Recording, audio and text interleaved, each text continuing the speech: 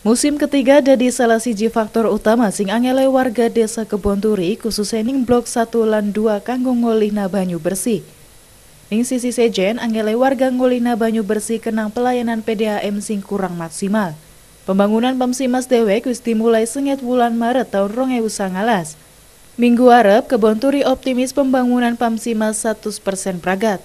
Pasale, kanggo sekian pembangunan kuan wis manjingi tahap akhir atau finishing. Anai pembangunan Pamsimas ning Blok 1 nuai respon positif sing warga setempat. Ketua PKK Desa Kebon Turi Asmi ngatakan, DWK bareng warga sejene kebantu pisan.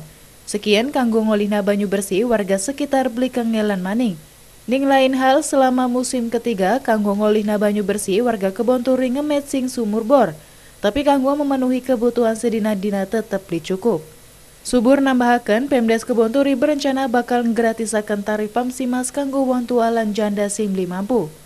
Subur ngarepna pembangunan Pamsimas kian bisa ngebantu ake warga. Andri Kanda, RCTV, Cirebon.